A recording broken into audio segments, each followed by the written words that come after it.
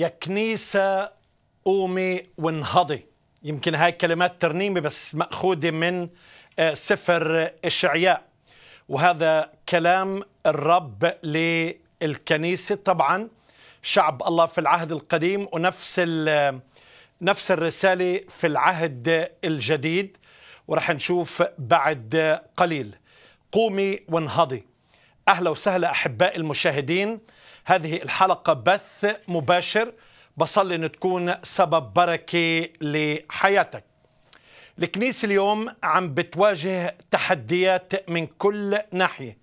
عم بتواجه أنظمة سياسية دينية اجتماعية أنظمة عالمية اللي أغلبيتها هي ضد كنيسة الرب.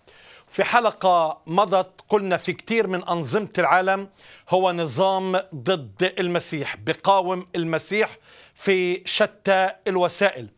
وخليني في البداية أنا عاوز أوضح شيء مهم جدا.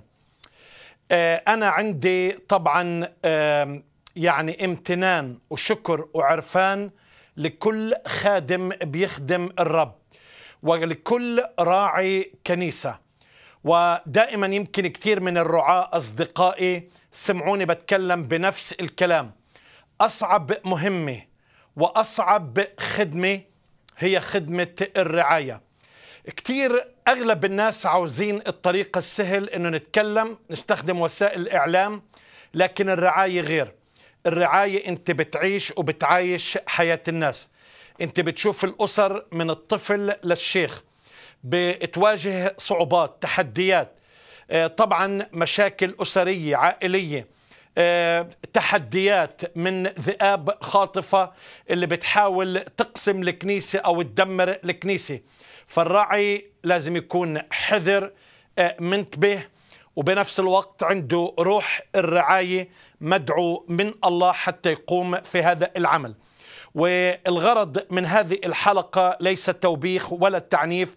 لكن بالحقيقة الأولى إنه أنا عندي شكر وعرفان وامتنان لكل خادم حقيقي لكل راعي كنيسة بيخدم الرب بامانه لكني أنا بتكلم عن وضع آه، حالي بشكل عام وأنا بتكلم عن العرب. طبعا في نهضات في انتعاشات في مناطق عديدة في العالم آه، منها مثلا في كوريا في جنوب أمريكا في بعض الدول الإسلامية بتشوف في انتعاشات وخلاص نفوس كثيرة.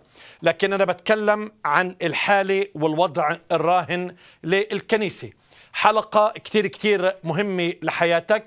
إيه، بشجعك أنك تشاهد هذه الحلقة وفعلا رح تكون بركة لحياتك. ادعوا آخرين حتى يشاهدوا هذه الحلقة. ابقوا معي سأعود بعد هذا الفاصل.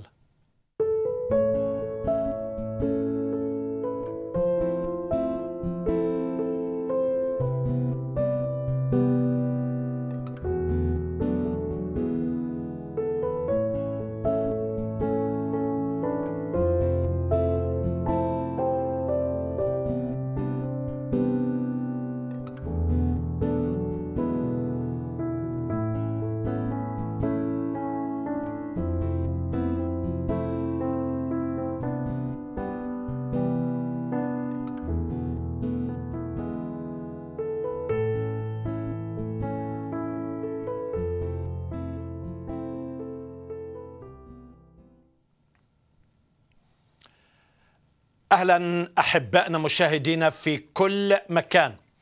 آه، موضوع الحلقة اليوم كتير كتير مهمه إذا في مسيحيين عم بشاهدونا مهم إنك تسمع الرسالة اليوم.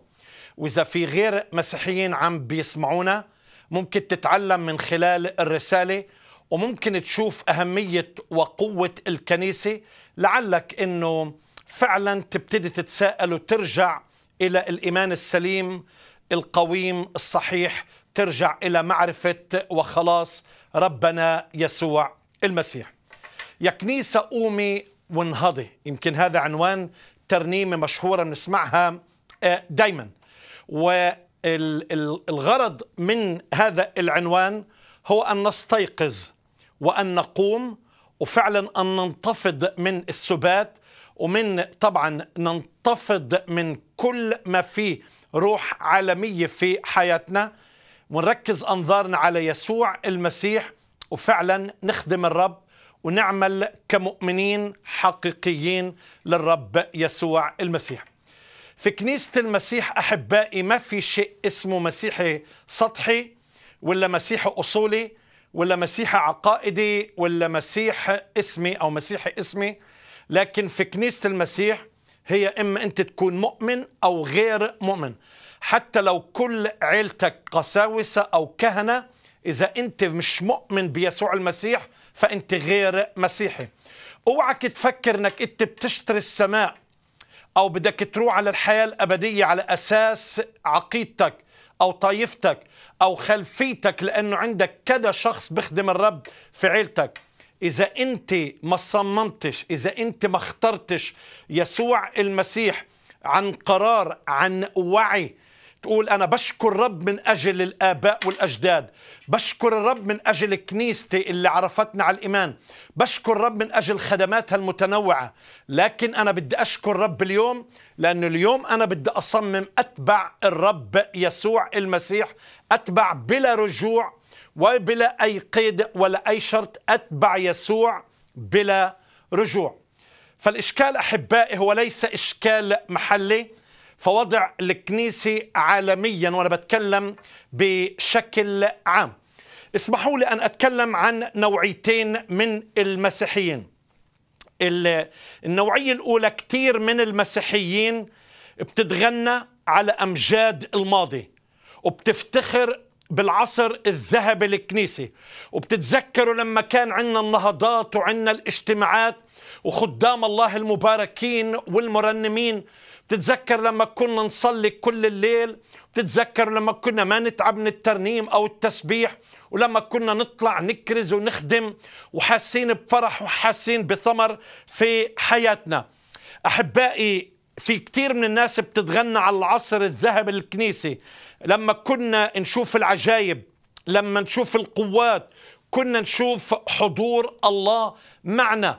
شو اللي صار معنا اليوم؟ وكأنه الكنيسة عايشة على الماضي. ودايما لما بنتكلم لأي مجتمع لأي ناس حوالينا نبتدي نكلم الكنيسة على أساس أنه سفر أعمال الرسل الرسل والآباء القديسون الآباء الأوائل آباء الكنيسة كيف تعذبوا كيف اضطهدوا كيف ماتوا من أجل رسالة المسيح كيف الله كان بيستخدمهم بالمعجزات بالآيات. كان في حضور إلهي عجيب. أو يمكن نتكلم عن نهضات معاصرة سواء حدثت في الأربعينيات أو الخمسينيات يمكن بالستينيات جزء معين. لكن أين هو الله؟ هل الله هو إله الماضي ولا هو بس إله المستقبل؟ هل هو إله الحاضر؟ هل ما زال الله يتفاعل؟ هل ما زال الله يتواصل مع الكنيسة مع الجسد أحبائي كثير مرات بنغلط انه إحنا بنفكر الكنيسة هي ما تورثناها عن الآباء والأجداد وهذا إيمان حلو إيمان النقلي اللي بناخده من آبائنا وأجدادنا وبعبر عن هويتنا وبعبر عن كياننا. بس أنت إذا ما تغيرت وقلبك ما تغير هذا لا يفيد أي شيء. فالكنيسة هي باختصار شديد هي جسد يسوع المسيح. الكنيسة هي جماعة المدعوين من الخارج وصاروا جماعة إكهيلا إكليسيا في اليوناني أو كهيلا من كاهل في اللغة العبرية تعني جماعة. وهي الجماعة بتمجد الله. وهي الجماعة اللي اختبرت الخلاص الكامل بموت يسوع المسيح على الصليب وقيامته من بين الأموات وأعلنت بكل إصرار وكل عزيمة بدون أي خجل أن يسوع هو الرب. وهذا هو أساس الإيمان المسيحي. يسوع هو الرب. فأنا بتكلم أحبائي مش مجرد شيء ما سمعناه. فالكنيسة مش هو البناء. فالكنيسة إن صح التعبير هي جسد المسيح اللي بتجتمع في بناء. فالبناء مش هو الكنيسة. الكنيسة هو الجسد. أنا وإنت اللي نؤمن بالرب يسوع. لكن أنا وإنت بنجتمع في مبنى. وهذا المبنى حتى نعبد الله نعظم الرب والمفروض ما نترك الاجتماع مكتوب غير تاركين اجتماعكم كما لقوم عادة بل بالأكثر على قدر ما ترون اليوم يقرب. فإذا في جماعة وهي الجماعة إحنا بنجتمع مع بعض حتى نسبح ونمجد الرب كجماعة بنجتمع حتى نعبد الله آه، حتى نعبد الله من خلال التسبيح. ونعبد الله من خلال قراءة كلمة الله. قراءة كلمة الله في الكنيسة جزء مهم جدا.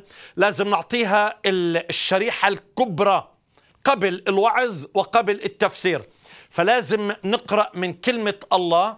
وعندما أقول نقرأ يعني مش تمشي لك مزمور على الماشي ولا كم آية على الماشي لأنه الناس بتتعب ولأنه الناس خلص تعبانة وإحنا في عصر السرعة. لا كل شيء إذا أنت بدك تاخده بسرعة بتتركه بسرعة. لكن لما بتدرس كلمة الله من خلال الكنيسة بعدين الكنيسة أنت بتسمع الوعظ التعليمي. وأيضا بالكنيسة أنت بتعبد الله. بتعبد الله من خلال عطائك. أنت بتعطي لأنه مفروض كل مؤمن يعطي العشر للرب. ثم أنت موجود في الكنيسة لأنه في شركة والشركة مع إخوتك وأخواتك المؤمنين وجزء من العبادة المسيحية. اللي هو العشاء الرباني أو المناولة كسر الخبز نتذكر مجيء أو نتذكر موت الرب إلى أن يجيء. هذا باختصار شديد. فالكنيسة هي أنت وأنا جسد المسيح. في أيام بولس وأيام بطرس كانت الكنيسة تجتمع في البيوت. كانوا بيوعظوا في الهيكل آه، وكانوا بيوعظوا في المجامع. الأولى مثل أعمال رسل بتشوف رسائل أو بتشوف خدمة بولس الرسول. كان بيبتدي في المجامع اليهودية ثم كان يروح لأماكن متعددة. كان بيكرز بالشارع بيوعظ بالشارع. كان يتقابل تقابل مع جماعة من النساء على نهر في فيليبي. لحديت اليوم في كتير أماكن مغلقة للإنجيل. المؤمنين بيجتمعوا في بيت في بيسمنت تحت الأرض بيجتمعوا في الغابة على جبل. ما الرب حاضر في كل مكان. عندما سألت السامرية يعني قالت للرب يسوع المسيح أنتم تقولون في أورشليم لأنه اليهودي كان لازم يدور يدير وجهه نحو أورشليم عشان يصلي. والسامريين لازم يديروا وجههم إلى جبل جريزيم في السامرة. فأجاب المسيح وقال الله روح والذين يسجدون له فبالروح والحق ينبغي أن يسجد له. فإذا ما عادش الفكرة لا في هذا الجبل ولا في أورشليم لأنه السماء والأرض لا تسع الرب فالله حاضر في كل مكان. لكن حتى لو ابتدأت فكرة الكنائس الأولى اللي أنا بتكلم على البناء لأنه اليوم في أبنية من القرن الثاني والثالث القرن الرابع الكنائس بسموه العصر البيزنطي اللي بتشوف أغلب الكنائس المواقع الأثرية اللي موجودة في هذه الأيام وهي شهادة صادقة على كنيسة الرب شو كانت تخدم وش كانت تعمل في زمن قريب جدا للمسيح والرسل والآباء القديسون. فإذا أحبائي مش المكان ولا أي فكرة أخرى. ففي ناس عم تتغنى في الماضي على اجتماعات الماضي وإن نهضات الماضي وانتعاشات الماضي وكأنه الماضي خلاص صار في طي السنين أكل الدهر عليه وشرب. ألم يقل الكتاب عن يسوع المسيح؟ لأن ولا يتغير. ألم يقل الكتاب عن يسوع المسيح؟ هو هو أمسا واليوم وإلى الأبد. ألم يقل يسوع المسيح؟ حيثما اجتمع اثنان أو ثلاثة باسمي هناك أكون في الوسط. ألم يقل يسوع المسيح ها أنا معكم كل الأيام وإلى انقضاء الدهر. يعني في كل اجتماع اثنين أو ثلاثة في اسم الرب يسوع بيكون حاضر معهم. لأن الكرة الأرضية في time zone في أوقات بحسب التوقيت الشرقي الغربي إلى آخره حسب دوران الكرة الأرضية. ففي ساعات كثيرة آه، وقت أستراليا بيختلف عن الشرق الأوسط أو عن شمال أمريكا. ففي كل وقت في كل مكان وفي كل زمان وإن كان في آلاف الاجتماعات ملايين الاجتماعات يسوع المسيح حاضر موجود في كل اجتماع. يسوع احبائي حي آه، ما تقام مش انتهى.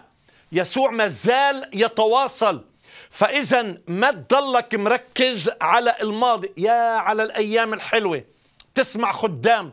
لما كنا ولما كنا نسهر ولما كنا نصلي ولما ولما. وعارف وبصير عنا أمنيات وتمنيات.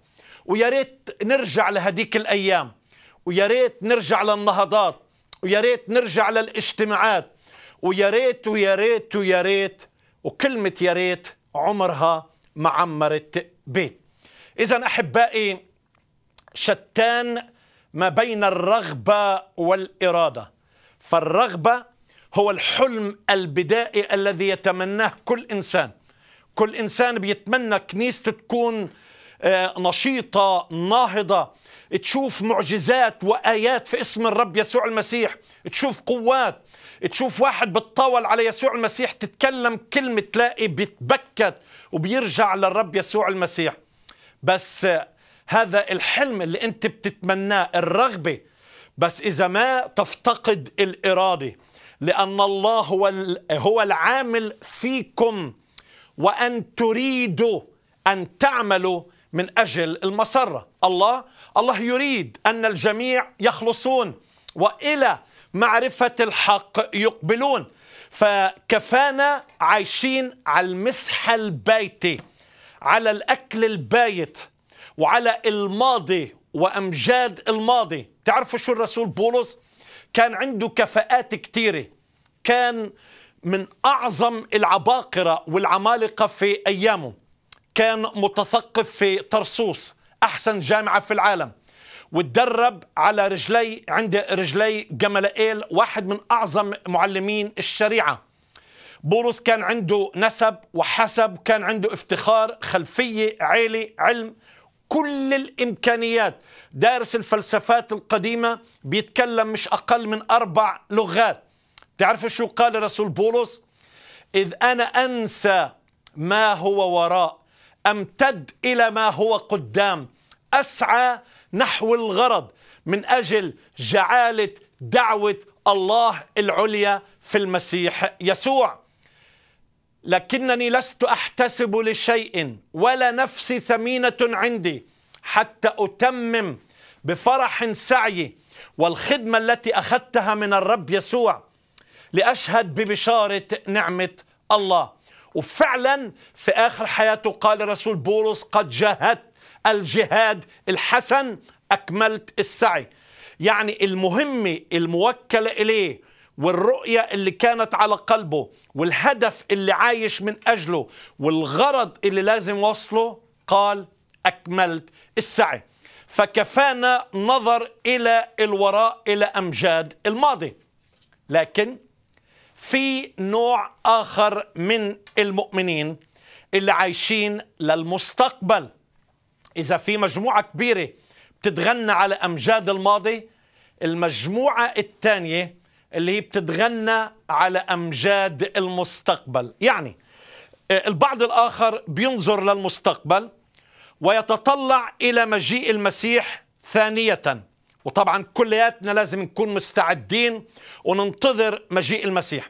لكن ونحن ننتظر مجيء المسيح لازم نكون مستعدين لكن بنفس الوقت لازم نكون منشغلين وساهرين يقظين حذرين لأن الرب ممكن يجي في أي لحظة. الرب ممكن يجي في هاي اللحظة.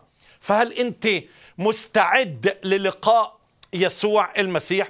لكن أنا بتكلم أحبائي ناس عايشة ليل نهار بتطلع للمستقبل بيحاولوا يفسروا كل الأحداث وكل ما يدور في العالم على أنه آخر الأيام. آه وطبعا مجيء ضد المسيح اللي بركز على مجيء ضد المسيح اللي عم بركز على رقم 666 اللي بركز على الوحش الطالع من البحر والوحش الطالع من البر. يعني المسيح الكذاب والنبي آه، الكذاب واللي بيركزوا على العلامة اللي بتوضع على اليد أو على الجبهة واللي عم بفسر أوروبا وحدانية أوروبا واللي بفسر انهيار أمريكا واللي بفسر قيام الصين واللي بفسر قيام روسيا وكل الأشياء نايس حلو. اجتهادات كتير كتير حلوة. بس أنا من خلال إيماني كل هاي السنين كذا مملكة تغيرت. وكذا ظروف سياسية تغيرت المملكة اللي هي قوية اليوم بكرة بتكون يمكن منهارة لما كان الاتحاد الأوروبي وصل لعشر دول قالوا خلاص هاي العلامة يعني المسيح جاي. طب اليوم في أكثر من عشر دول. ويمكن يكون أقل ويمكن بكرة يزداد يمكن يقل. يمكن المسيح جاي بعد 200 سنة بعد 300 سنة. خلاص كأنه كل إشي انتهى بس قاعدين بنستنى العالم لازم يتغير. ما فيك تعيش لا في الماضي ولا في المستقبل. حتى التلاميذ سألوا يسوع قبل صعوده إلى السماء يا رب متى ترد الملك إلى إسرائيل؟ أجاب يسوع وقال ليس لكم أن تعرفوا الأزمنة والأوقات التي جعلها الآب في سلطانه لكنكم ستنالون قوة. متى حل الروح القدس عليكم وتكونون لي شهود في أورشليم وفي كل اليهودية والسامرة وإلى أقصى الأرض. وبعدين شاهدوا صعود المسيح. يعني بين صعود المسيح ومجيء المسيح ثانية على أن الكنيسة تتبنى روحيا. أبني كنيستي وأبواب الجحيم لن تقوى عليها. لكن أبواب الجحيم لن تقوى فالكنيسة مش بس مدافعة. عن العقيدة. لكن الكنيسة مهاجمة. تهاجم أبواب الجحيم. وتهاجم جهنم. ونختطف من النار النفوس المحتاجة إلى يسوع المسيح. لكن مشكلتنا اليوم تطلع آلاف المواقع على الفيسبوك. التواصل الاجتماعي. وكأنه ما في موضوعات. وهذا اللي شاغل الناس. صدقني المؤمن المستعد مش خايف. المؤمن المستعد عارف إنه الرب جاي لكن بنشغل. اربح لك نفس إذا الرب جاي الرب يسوع جاي بكرة. مش بس نقعد ويعني آه، صرنا دارسين عارفين في الأوقات والأزمنة والتمييز وكل هاي الأمور. في علامات نعم في أوقات نعم. والشخص الروحي يعي هذا الشيء والشخص الروحي بيفهم. بس أنا ما في أحط توقيت. بنغلط أحباء إذا بنحط توقيت. توقيت الله الله خارج عن الزمن. إحنا بنحط توقيت اللي هي من خلال الزمن. الرب حر عنده ألف سنة مثل اليوم. ويوم مثل ألف سنة. أنت شو دورك اليوم؟ وكأنه يا منعيش في الماضي يا عاوزين نعيش في المستقبل. لكن أحبائي باختصار حاجة الكنيسة اليوم أن تركز على احتياجات الحاضر. إحنا في زمن فيه وباء في زمن فيه انهيارات سواء اقتصادية أو سياسية اجتماعية أسرية. شو دور الكنيسة؟ أنا بتعجب على الكنيسة اللي بتختفي. وبتبتعد عن الاجتماعات. وكأنه عملت زوم يعني اجتماع على الزوم ولا على فيسبوك خلاص أكملنا كل بر وكل واجب. وكان الله بالسر عليم. لا أحبائي في أمامنا دور مهم في هذا العالم. الكنيسة لها دور دور الإسعاف دور المدرسة دور المستشفى دور الكرازة دور الأخبار السارة انتشال الهالكين إطعام الجائعين. إسقاء العاطشين رجاء لليائسين عزاء للبائسين تعضيد لكل الساقطين. الكنيسة إلها دور كما بنهتم بالخراف وبالرعاية. إلنا دور أحبائي في هذا الحاضر. بتعرف أحبائي شو اللي بصير؟ يعني إحنا بشاهدونا في كل أنحاء العالم. الكنيسة في الغرب أحبائي دخل فيها روح العالم للأسف. كل الأنظمة في الغرب يعني كل الأنظمة سببت تعب سببت إعياء شديد سببت تعب روحي عم بتسبب الهموم عم بتسبب الضغوطات وهي وضع الكنيسة. فإذا بيكون عندك ضغوطات ضغط ضغط ضغط كل يوم ضغط ضغط ضغط مادي ضغط أسري ضغوطات وهموم ضغوطات وهموم. بتقعدش تركز. كيف بدك تخدم تحت كل هالضغوطات؟ وبعدين عندك الميديا كلها صارت ضد المسيح. وعندك كل الأنظمة اليوم يعني في كل نظام بتلاقيه ضد المسيح. والأفلام ضد المسيح. والميديا ضد المسيح. والحكومات ضد المسيح. والأنظمة ضد المسيح. كل شيء عم بيتحول. طب ولو هو ما فيش ديانة تانية يشتغلوا عليها إلا بس المسيح؟ قال يسوع أبغضوني بلا سبب. بعدين يعني واو. يعني الرب يسوع المسيح فعلا لو ما قالنا إنه راح يضطهدوكوا راح يستهزئوا فيكوا راح يقتلوكوا راح تكونوا مزدرى راح تكونوا يعني وسخ العالم مثل ما قال آه، بولس وكل هذا عم بتحقق. هاي من ناحية الغرب. خلاص يعني كتر الضغط بحول عينيك عن النظر إلى يسوع المسيح. طب وشو معنا في الشرق؟ المشكلة أصعب في الشرق. في الشرق أحبائي الكنيسة في الشرق. سامحوني أقولها تزعلوش مني. كادت أن تكون قد استسلمت بالكامل. تأقلمت على الوضع الكنيسة تأقلمت وخلي بالك ما تقوليش أنا من كنيسة فلان وأنا هاي الكنيسة وأنا الكنيسة الكنيسة الثانية هي التعبانة لا. أنا بتكلم عن جسد المسيح. أنا بتكلم عن كنيسة الرب اللي هي من كل الطوائف من كل الكنايس من كل شعب الله. طب ما الرب عنده كنيسة في السعودية. عندك عشرات الاجتماعات في السعودية كنائس في السعودية. آه بيجتمعوش في مبنى مثل أمريكا بس بيجتمعوا. عندك في شمال أفريقيا. مئات الكنائس. آه اجتماعات بس اجتماعات بيتية. أنا بتكلمش على مباني. أنا بتكلم على كنيسة اللي هو أنت وأنا وكل من يحب الرب يسوع المسيح. الكنيسة تكاد تكون استسلمت في الشرق الأوسط وتأقلمت على ستاتس كو على الوضع الراهن. هو مين إحنا؟ ما إحنا أقلية. إحنا بنقدر نغير الوضع الراهن؟ يا سلام. يا سلام. شو هالكلام هذا؟ شو هالكلام هذا؟ هو 12 تلميذ في أصعب أيام أصعب من هاي الأيام في أيام الرومان. مش مكتوب عنهم فتنوا كل المسكونة؟ مش مكتوب عنهم إنه غيروا العالم؟ هو إيه اللي تغير أحبائي؟ طب ما اليوم عندنا إمكانيات أكثر وعندنا مصاري أكثر وعندنا ظروف أحسن. وعندنا يعني قوانين اللي بتساعد كل هذه الأمور. شو اللي اختلف؟ ليه بنتأقلم؟ مشكلة كبيرة يمكن أحكي عنها شوي أكثر الاكتفاء الروح خلاص. دبرت حالي أنا خلصت. تجددنا لا نقول تجددنا وتمددنا لكننا نقول تجددنا وتشددنا كما قال أحد رجال الله. بس المشكلة إذا الكنيسة تأقلمت على الوضع الراهن كأنه لا توجد قوة لتغيير الأوضاع. بدي أقول لك شغلة. إذا أنا بصمم قدام الرب يسوع أتغير العالم من حول بده يتغير.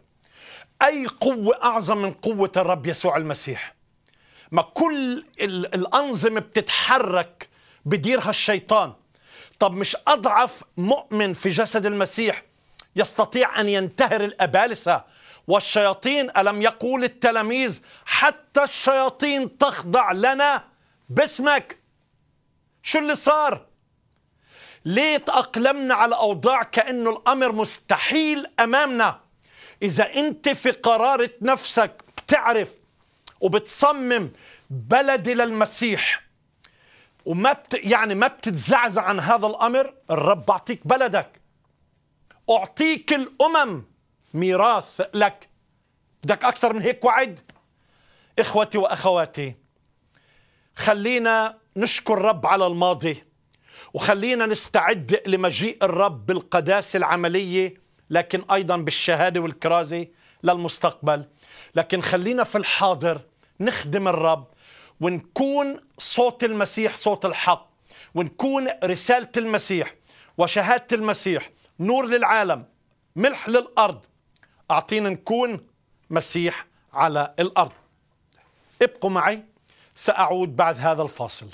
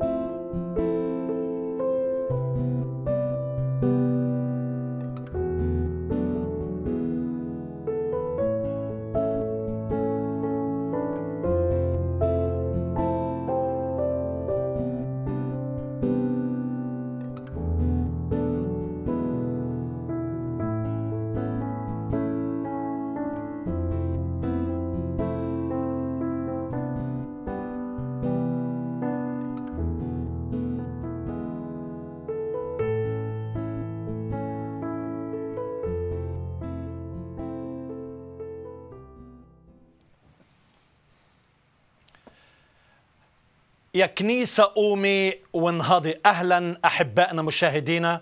برحب فيكم مرة أخرى إلى هذه الحلقة. ليكن نور نلقي الضوء على موضوع مهم جدا في هذه الحلقة. عاوز أخذ مكالمة من الأخت وردة من الجزائر. أهلا وسهلا أخت وردة. مساء الخير أخ نزار. مساء النور على كل الفريق.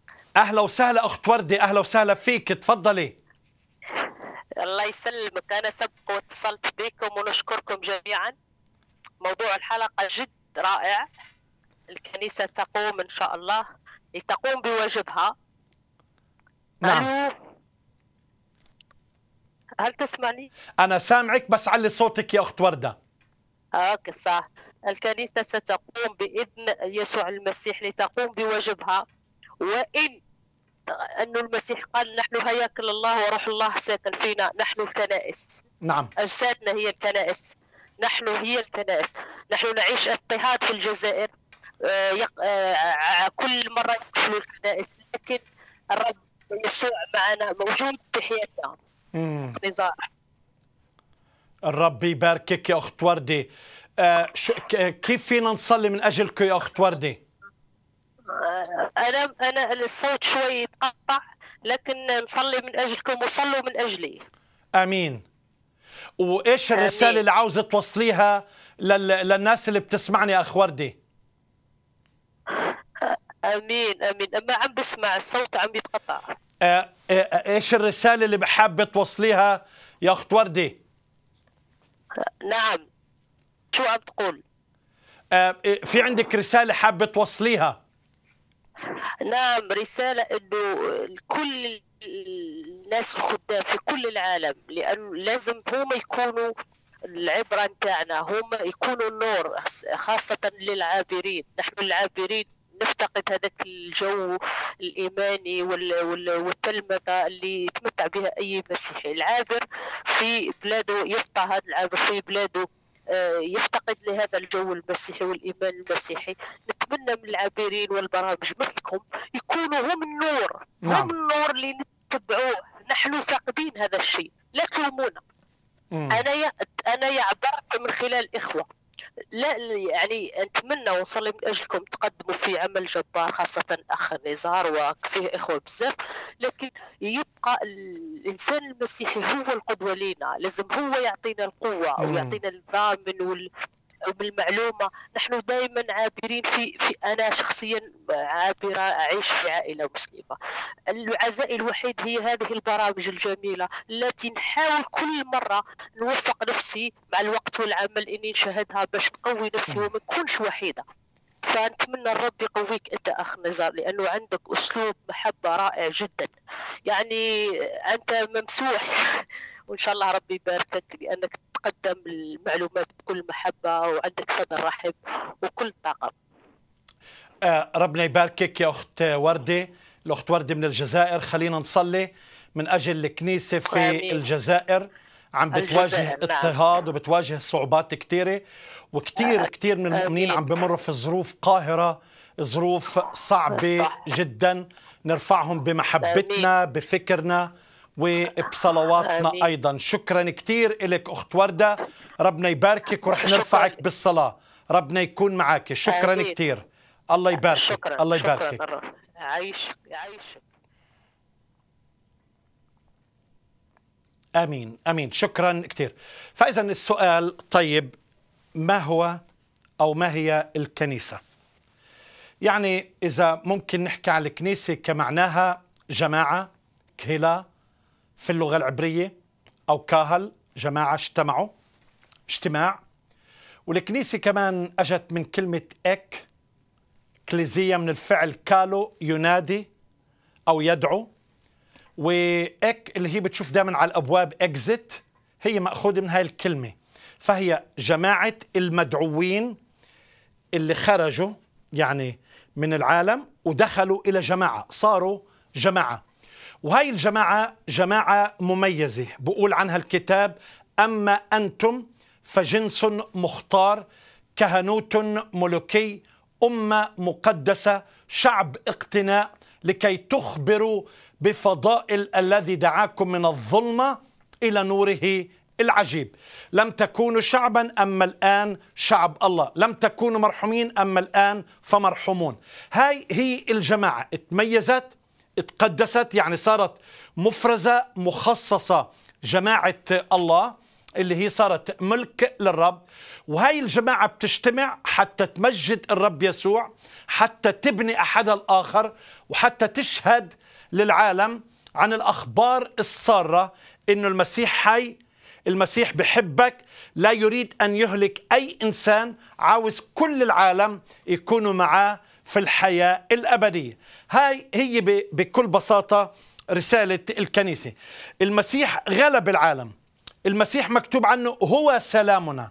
المسيح هو مرساة النجاة.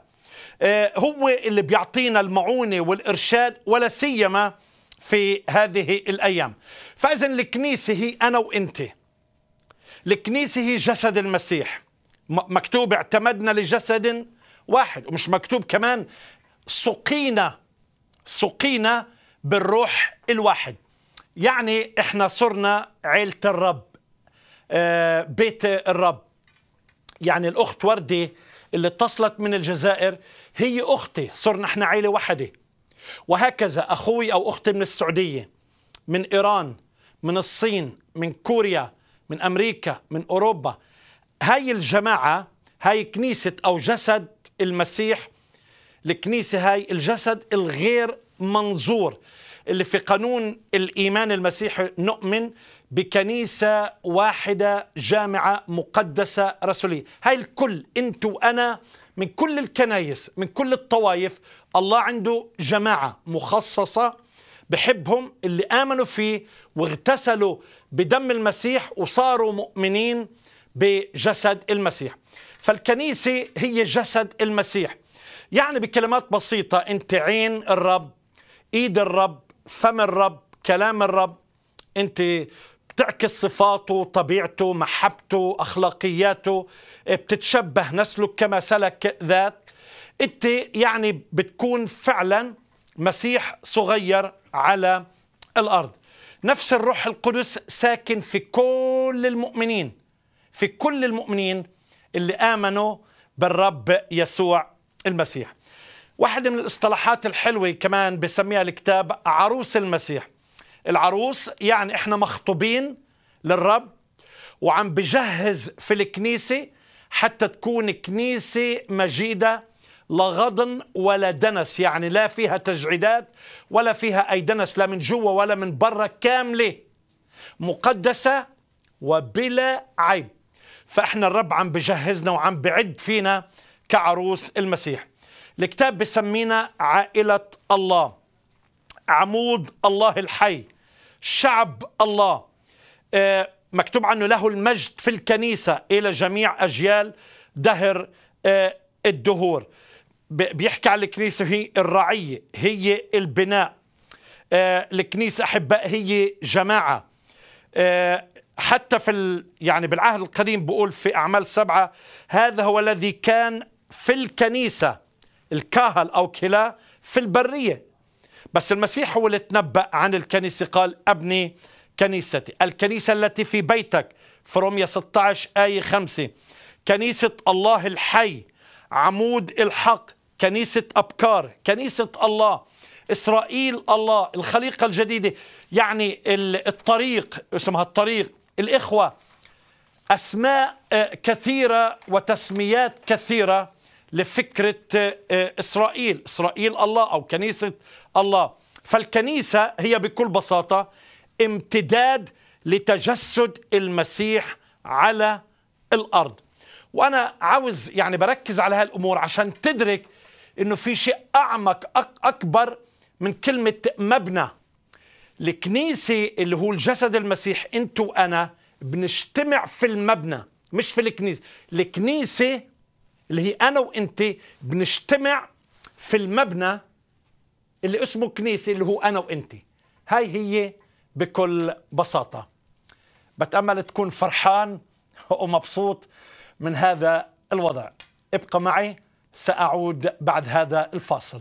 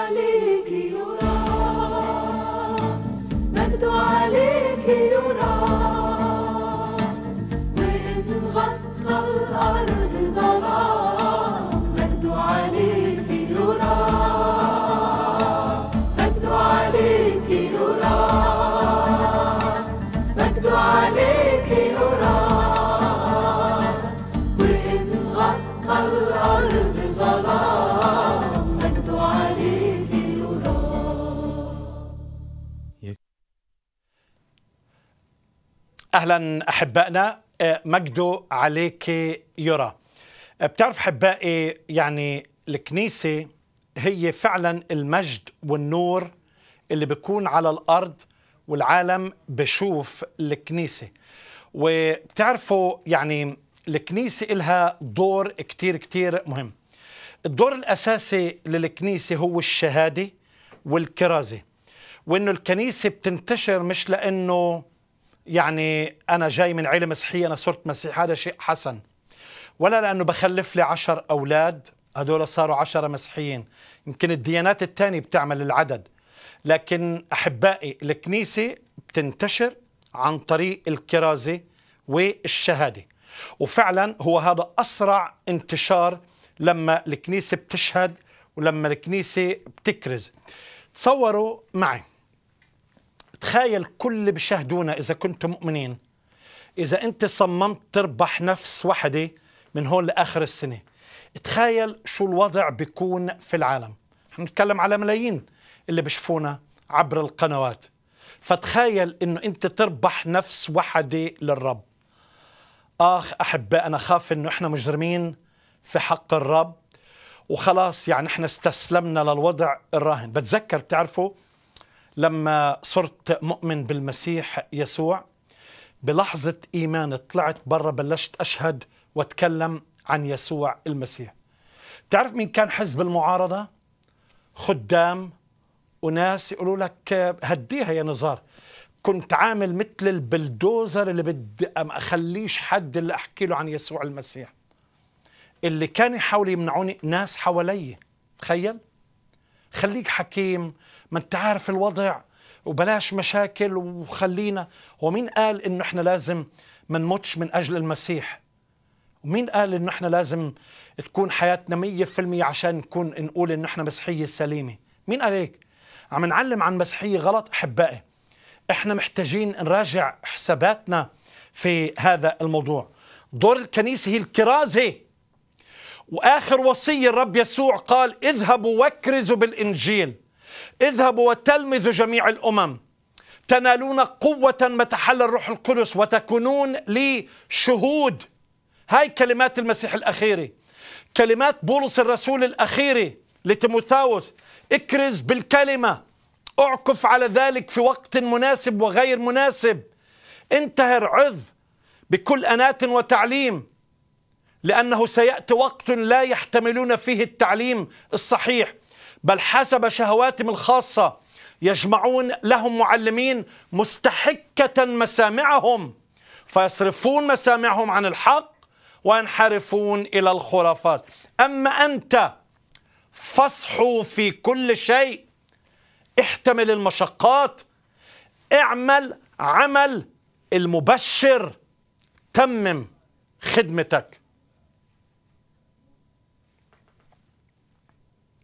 احبائي مين قال انه إحنا حياتنا هي بس للراحة؟ دور الكنيسة الكرازه والناس المرتاحة شو نصلي نقول يا رب جيب لهم اضطهاد. هو أكثر من هيك اضطهادات في الدنيا وصلنا إلى حالة الفتور الروحي الصعب جدا. والمشكلة الأكبر في هذه الأيام اللي نواجهها عدم الخضوع للسلطة وللكنيسة. مشكلة تانية السلوك الجسدي. كتير من المسيحيين والمؤمنين عم بيسلكوا في الجسد مش في الروح. عايشين الطفولة الروحية حياة التناقض حياة الصراع وحياة الهزيمة وحياة الفشل وحياة العار. الروح يشتهي ضد الجسد والجسد ضد الروح. كتير من الناس خلاص يعني كأنه هذا هو الوضع. مشكلة تانية أحبائي وهي مشكلة خطيرة الكبرياء فكرنا في شوية معلومات. ما هو المعلومات يا بتنفخ يا إنه بتتحول لطاقة وإنك تشهد تتكلم عن يسوع المسيح. لكن أكبر مشكلة وأصعب مشكلة من شو واجهها في الأيام الاكتفاء الروحي. الاكتفاء الروحي شناعة وفظاعة. الإنسان المكتفي روحيا هو أخطر بل أصعب من الغير مؤمن. المكتفي روحيا قاعد فهمان كل إشي لابس بدلة حلوة. الناس بيقولوا عنه تقي وبيقولوا عنه بار ويا سلام سمعته حلوة. صدقني أفضل تتقابل مع ناس بتسقط وبتفشل وبتقوم مئة مرة. بس بتربح من نفوس من شخص لابس لي بدلة وعايش كل حياته بار وتقي وعنده مخافة الله وممدوح من الكنيسة. مين الأهم في ملكوت الله؟ في يوم من الأيام كلنا رح نواجه الرب. ما حد كامل هو الرب مش أجل للخطاة والعشرين والزنا والناس التعبانة والمعطرة مثلك ومثلي. هو بس بنمدح الشخص المبين عنده هيبة من برا. ولا الناس اللي فشلت مئة مرة بس عايش عم بربح نفوس للرب. هذا مهم. الاكتفاء الروح أحبائي هذا هو الخطر. اكتفينا معنا إحنا اليوم. ما شاء الله آلاف البرامج على الفيسبوك آلاف البرامج على القنوات الفضائية. كنا نقول بركة صارت اليوم كل واحد بغنى على لهله وعلى مواله. أحبائي لازم يكون في مصداقية لكلمة الرب. لازم يكون في محاسبة. هو مش كل واحد خادم ولا قائد بيطلع يتكلم أي كلام. أين المحاسبة؟ أين المصداقية؟ هو لأنه صرت خلاص أنا صرت شخص معروف. بتكلم اللي عاوز أتكلمه؟ ما بصح. وين المصداقية بتعليمنا؟ وين المحاسبة؟ إحنا مطالبين في محاسبة. أحبائي مهم جدا الاكتفاء الروحي خطر خطر فظيع جدا. احذر الكتاب بيقول حارين في الروح. الكتاب بيوصف في آخر الأيام لكثرة الإثم تبرد محبة الكثيرين. وبيحكي لكنيسة أفسس أنك تركت محبتك الأولى. الرب يأجج صدورنا وقلوبنا في محبة ملتهبة للرب يسوع المسيح. احذر احذر احذر احذر إنك تكتفي روحيا. النمو شيء استمراري. وفيك تقول أنا أكلت الأسبوع اللي فات أكلت وجبة ثقيله بدك كل يوم تأكل كل يوم تشرب. نفس الشيء. كل يوم محتاج حضور الله في حياتك وتمتلئ من روح الرب. خليني آخذ مكالمة من الأخت فريال من المملكة المتحدة. أهلا وسهلا أخت فريال. أهلا بك أخي نزار. سلام ونعمة المسيح معك. ونشكر الرب على هذا البرنامج اليوم. الرائع الرائع جدا. الرب يباركك. ويباركك ويباركك أخي أخي أخي آه، آه، العزيز آه، نزار إنه حضرتك ذكرت إنه الكنيسة ليس البنايه وإنما جماعة المؤمنين وجسد المسيح. وفعلا يا أخ نزار أنا فقط أحب أن أقول لمن هدموا الكنائس داعش والإرهابيين في العراق وغيرها سوريا وغيرها من الدول العربية. كانوا يعتقدون بأن الكنيسة البناء لكن لا لا هم متوهمين. الكنيسة هي جماعة المؤمنين. آه، هدموا الكنائس نعم.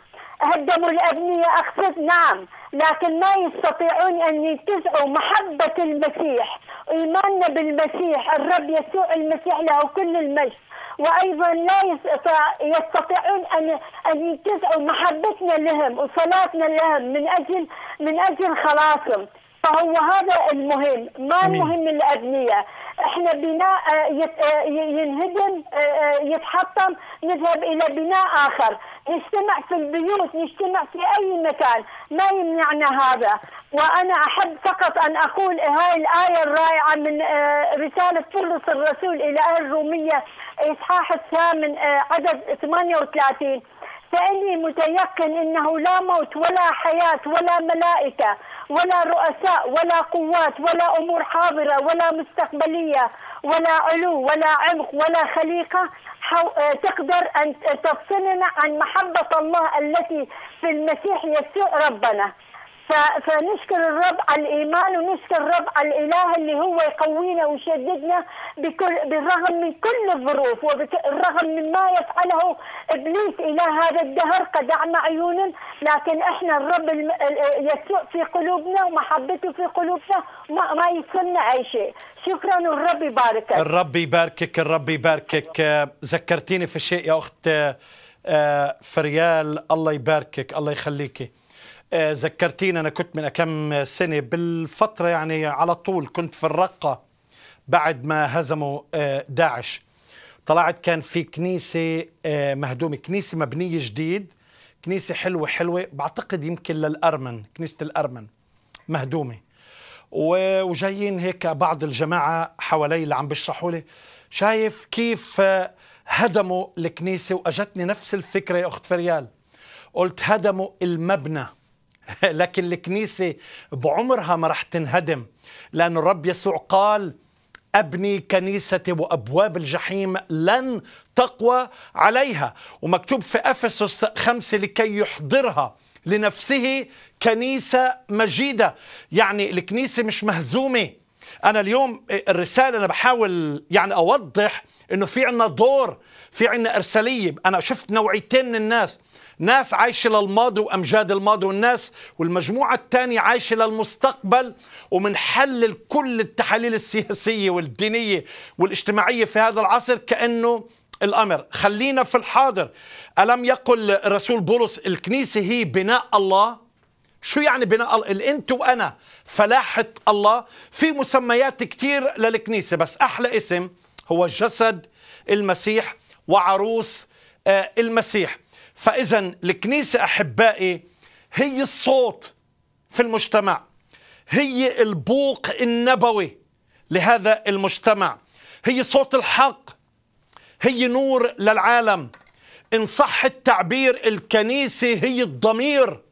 لما لما يوحنا قال لهيرودس أنتيباس لا يحق لك أن تأخذ زوجة أخيك عم بتكسر الشريعة.